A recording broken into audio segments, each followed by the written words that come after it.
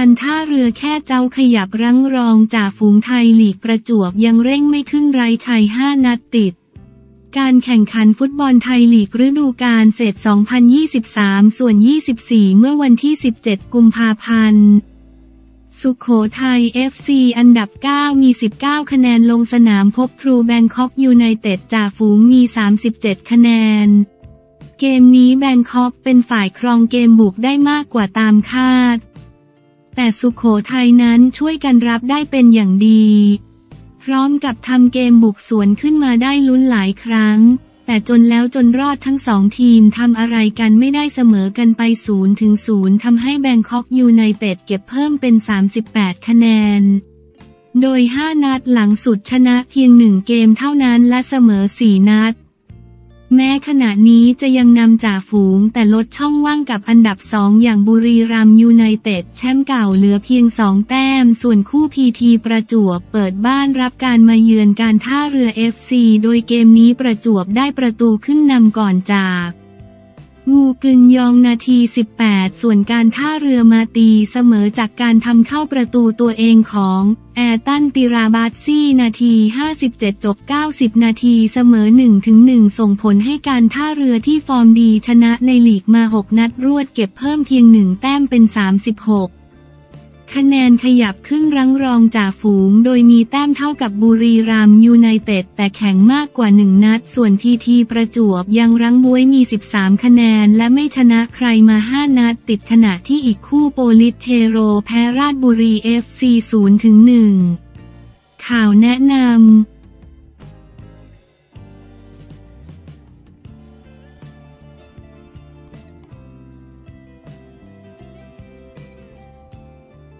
เต้อาชีวะเดือดจัดบุกสภาจี้สอบจริยธรรม โรม ยัน ชาดา ไม่ได้อยู่เบื้องหลังเต้อาชีวะ เดือดจัดบุกยื่น วันนอ สอบจริยธรรม โรม นำภาพมาโชว์ในยติขบวนเสด็จซัดอย่าปล่อยเฟกนิว ยัน ชาดา ไม่ได้อยู่เบื้องหลังเมื่อวันที่ 16 กุมภาพันธ์ 2567 ที่รัฐสภาภาคีกลุ่มราชพักนำโดยนายอัครวุฒิไกรศรีสมบัติ หรือเต้อาชีวะประธานกลุ่มอาชีวะราชพักดี พร้อมสมาชิกกว่า 10 คนยื่นหนังสือต่อนายวันมูฮัมหมัดนอ มาทาประธานสภาผู้แทนราษฎร ผ่านตัวแทนรับเรื่องเพื่อเรียกร้องให้เอาผิดและสอบจริยธรรม นายรังสิมันโรมสอสอบัญชีรายชื่อพักก้าวไกลกรณีละเมิดข้อบังคับการประชุมสภา หรือไม่ ในการนำภาพของกลุ่มนายอัครวุฒิขึ้นอภิปรายยติด่วน มาตรการอารักขาขบวนเสด็จเมื่อวันที่ 14 กุมภาพันธ์ที่ผ่านมาอ่านข่าว เดือด ชาดาปะทะโรมใส่รูปพาดพิงฉะอย่าขัดแย้งกับผมฮึ่งอย่าทำอย่างนี้ในสภาโดยนายอัครวุฒิกล่าวว่าตนขอบคุณมากที่เอารูปของตนและกิจกรรมของตนมาพูดในสภาแต่งานของคนรักสถาบันไม่ควรไปเกี่ยวกับเรื่องการเมือง กิจกรรมที่ตนทำแล้วภาพที่มีนายชาดาไทย เศษรัฐมนตรีช่วยว่าการกระทรวงมหาดไทยนั้นนายชาดาก็ไม่ได้ไปในฐานะรัฐมนตรี หรือสอสอเขาไปในนามนายชาดาไปร่วมปั่นจักรยานคนที่บอกว่าตนชอบใช้ความรุนแรง รู้หรือไม่ว่ามีใครเป็นไอดอล จากนั้นนายอัครวุฒิได้เปิดภาพนายรังสีมันสมัยเป็นนักศึกษาที่ปะทะกับเจ้าหน้าที่ตำรวจรวมถึงภาพสอสอพักก้าวไกลที่ไปอยู่กับกลุ่มนักเคลื่อนไหว รวมถึงภาพของนายพิธาลิ้มเจริญรัตสอสอบัญชีรายชื่อพักก้าวไกลถ่ายรูปคู่กับบนสอทานตะวันตัวตุลานนท์และกลุ่มทะลุวังพร้อมกล่าวว่า ผมมีไอดอลเป็นนายรังสิมัน เพราะเขาเคยต่อยตำรวจต่อหน้าสาธารณชน ต่อหน้าสื่อมวลชน เขาทำมาก่อน สิ่งที่คุณทำมาก่อน แต่คุณจะมาสอนให้ผมเป็นคนที่รักสงบ คนที่อยู่เบื้องหลังม็อบขบวนการทั้งหลายแหล่เขาบอกว่าไม่มีขบวนการคุณไปนั่งอยู่ในนี้ได้อย่างไร ยืนยันว่าไม่ได้เฟกนิว พฤติกรรมของกลุ่มนายรังสีมันอยู่หน้าม็อบ นายอัครวุฒิกล่าวนายอัครวุฒิกล่าวต่อว่าข้อความที่ตนโพสต์เมื่อวันที่ 8 กุมภาพันธ์ ระบุว่าจะไปกระทืบกลุ่มทะลุวัง หรือปะทะกับกลุ่มทะลุวัง ตนยอมรับว่าเป็นภาพจริงยอมรับว่าผิด แต่ถ้าดูคลิปดีๆ ตนเป็นคนไปห้ามแต่นายรังสีมันกลับเอาภาพของตนมาแขวนในสภาแล้วบอกว่าชอบใช้ความรุนแรง ยืนยันว่านายชาดาไม่ได้เป็นผู้อยู่เบื้องหลัง ถ้านายชาดาอยู่เบื้องหลังแล้ว ภาพที่ตนนำมาวันนี้คืออะไร นั่งคุยกับใครไปให้รางวัลใครตนไม่ได้ว่าเขาไปหาข้อมูลมาจาก Google ได้ยืนยันว่าไม่ได้ตัดแปะข้อความกลุ่มของตะวันคุกคามขบวนเสด็จยติที่ผ่านมาคือทำอย่างไรก็ได้ให้แก้ไขปัญหาการคุกคามขบวนเสด็จ แต่นายรังสีมันกลับไปเอาบุคคลที่สามขึ้นมาแขวนอยู่บนสภา คุณคาดหน้าผม แต่คนเขารู้กันหมดว่าเป็นใคร คนเขารู้กันหมดว่าเป็นเต้อาชีวะ แต่ไม่ยอมคาดหน้าพี่ชาดาบอกว่าเป็นนักการเมืองหนุนหลังผม เดี๋ยวผมจะไปถ่ายรูปกับรังสิมันต์ ผมเป็นเอฟซีเขาดูซิว่าจะสนับสนุนผมหรือไม่ ผมผิดตรงไหนที่จะถ่ายรูปกับคนมีชื่อเสียง คนพูดบอกว่าผมไปบ้านเขาผมจะบอกให้นะ กิจกรรมทำความดีของผม ผมปั่นจักรยานเทิดพระเกียรติ ผมต้องปรึกษาใครบ้างสมองอาชีวะอย่างผมมีแต่แรง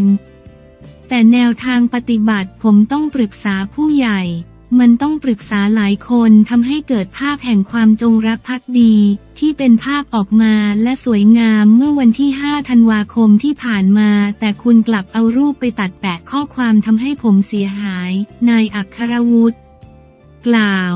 นายอัครวุฒิกล่าวต่อว่าการปะทะไม่จำเป็นต้องใช้กำลังบางทีการปะทะก็ใช้คารมก็ได้เข้าใจหรือไม่ ดังนั้นสิ่งที่ตนอยากจะบอกนายรังสีมัน คือการใช้ความรุนแรงแบบนี้ในฐานะไอดอลของตนและเป็นผู้เริ่ม ตนโดนด่าด้วยถ้อยคำไม่ดี แต่ตนพูดออกสื่อก็ไม่ได้ และถ้าคุณออกมาแล้ว คุณยังไปคุกคามขบวนเสด็จ ตนก็จะใช้รัฐธรรมนูญของตนสิทธิของตนที่จะปกป้องและพิทักษ์ไว้ อย่าพยายามหาผลประโยชน์เพื่อดิสเครดิตใครพวกผมเปิดหน้าสู้แต่คนที่อยู่เบื้องหลังเด็กเหล่านั้น กล้าเปิดหน้าหรือไม่วันนี้ผมเห็นแวบๆ ไม่แน่ใจว่าใส่กางเกงหรือกระโปรง อย่ามุดใต้กระโปรงเด็กคุณกำลังเป็นฆาตกรที่ฆ่าเด็กๆเหล่านั้น คุณกำลังทำให้อนาคตเขาเสื่อมเสียไป ดังนั้นวันนี้ผมวิงวอนขอร้องอย่าเล่นประเด็นที่เกี่ยวกับคนอื่น ถ้าอยากเล่นเล่นผมคนเดียวคนอื่นไม่เกี่ยวนักการเมืองก็ไม่เกี่ยวผมไม่เคยเดินตามใคร และผมไม่ได้เป็นผีของนักการเมือง อย่าเอาวาทกรรมมาพูดในสภาควรทำให้มันมีเกียรติการเมืองรุ่นใหม่ อย่าบูลลี่กันอย่าใส่ร้าย อย่าเฟกกะนิว อย่าเอาข้อความตัดแปะมาไม่เอามันไม่เฟี้ยวนายอัครวุฒิกล่าวเมื่อถามว่าจะมีการตรวจสอบผู้ช่วยสอสอที่หนุนม็อบด้วยหรือไม่ นายอัครวุฒิกล่าวว่าต้องดูว่ามีเรื่องคาบเกี่ยวกันหรือไม่ พราะคนอภิปรายคือนายรังสีมัน ดังนั้นนายรังสีมันจะต้องเป็นคนรับผิดชอบเบื้องต้นก่อน ส่วนอยากให้ลงโทษถึงขั้นไหนนั้น ต้องการคำขอโทษแค่ขอโทษประชาชนว่าเอาเฟกกนิวออกมา ว่าคุณไปเอาข้อความตัดแปะออกมาพูด แค่นี้เองความรับผิดชอบควรมี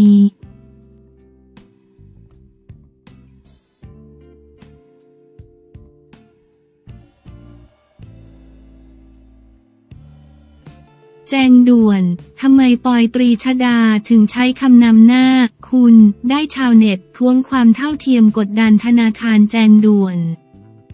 โซเชียลถกสนั่นทำไม ปอยตรีชดา ถึงใช้คำนำหน้า คุณ ได้โดยไม่ต้องกำหนดเพศชาวเน็ตทวงความเท่าเทียมหรือเลือกปฏิบัติ จู่ๆก็งานเข้ากลายเป็นประเด็นถกสนั่นในโลกโซเชียล เหตุใดสลิปการโอนเงินของปอยตรีชดาหงหยก ถึงใช้คำนำหน้าว่า คุณ โดยเรื่องราวทั้งหมดเกิดจากปอย ร่วมโอนเงินสนับสนุนค่าอาหารน้องบีบลูนกที่ฟิล์มมิสทิฟฟานี่ หรือธัญรัตน์จิตประภาจิน เลี้ยงไว้ พร้อมอวยยศขอบคุณสาวปอยยาวเหยียดททว่าชาวเน็ตกลับโฟกัสผิดจุดเมื่อเห็นคำนำหน้าชื่อของทั้งสองคน โดยคำนำหน้าปอยคือ คุณตรีชดาหงหยก ส่วนคำนำหน้าฟิล์มคือนายธัญรัตน์จิตประภาจินจนเกิดกระแสวิจารณ์สงสัยอย่างหนักเหตุใดคำนำหน้าของทั้งคู่จึงแตกต่างกัน ภาพประกอบล่าสุดก็กลายเป็นประเด็นถกสนันเมื่อมีผู้ใช้เฟซบุ๊กรายหนึ่งโพสต์ภาพสลิปดังกล่าว พร้อมระบุว่า อยากให้ธนาคาร ต้นสังกัด ออกมาอธิบายเรื่องความไม่เท่าเทียมนี้